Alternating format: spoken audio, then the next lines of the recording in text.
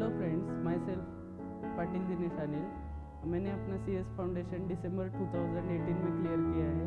आ, मेरे को C S foundation में 252 मार्क्स मिले हैं और सच बात बोलूँ था तो, तो ना मुझे ना मेरी फैमिली को ये कॉन्फिडेंस था कि मैं सी एस फाउंडेशन क्लियर कर पाऊँगा।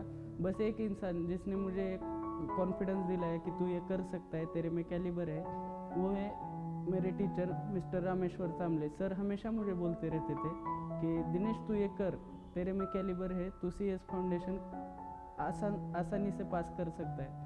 और उसी वजह से मुझे लगा कि सर अपने पे ट्रस्ट डाल रहे हैं तो अपन अपन को भी ऐसा करके दिखाना है कि सर का सर के विश्वास को ठेस ना पहुँचे। इसलिए मैंने भी थोड़े लास्ट लास्ट में एफर्ट्स लिए और सर की टेस्ट सीरीज़ ने भी मुझे सी एस फाउंडेशन क्रैक करने में बहुत बड़ी मदद की। सर जब सिखाते हैं तो वो एक एक एक पर्टिकुलर टॉपिक सिखा रहे हैं तो उस टॉपिक की एक सेंट्रल थीम बनाकर सामने रख देते हैं।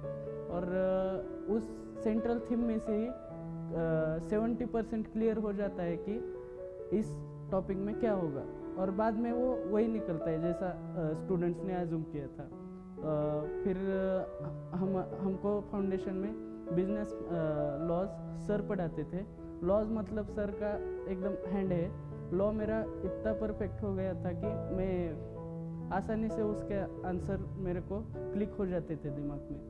और फिर बोलूँ तो इकोनॉमिक्स मेरे को साक्षी मैम ने पढ़ाया। वो भी बहुत इकोनॉमिक्स अच्छा पढ़ाती है। अ, मेरा सब माइक्रो इकोनॉमिक्स वगैरह एकदम परफेक्ट हो गया था उनकी वजह से। फिर मैनेजमेंट और अकाउंट्स हमको सर ही पढ़ाते थे सामले सर वो मतलब ऑलराउंडर टीचर है। उनके बारे में मतलब ऐसा काम नहीं है जो वो नहीं कर सकते। आज मैं यहाँ खड़ा हूँ तो सिर्फ़ उनकी वजह से खड़ा हूँ। सी एस फ़ील्ड में मेरे एंटर करने का सबसे बड़ा रीज़न सामले सर।